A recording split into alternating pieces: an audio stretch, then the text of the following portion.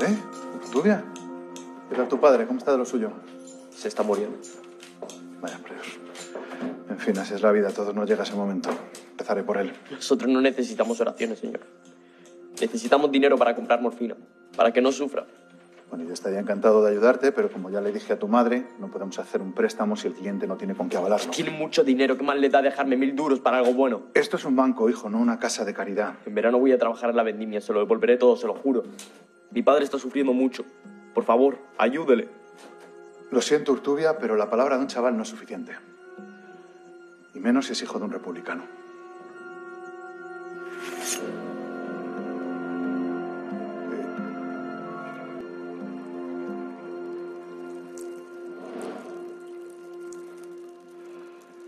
Anda, niño, vete a tu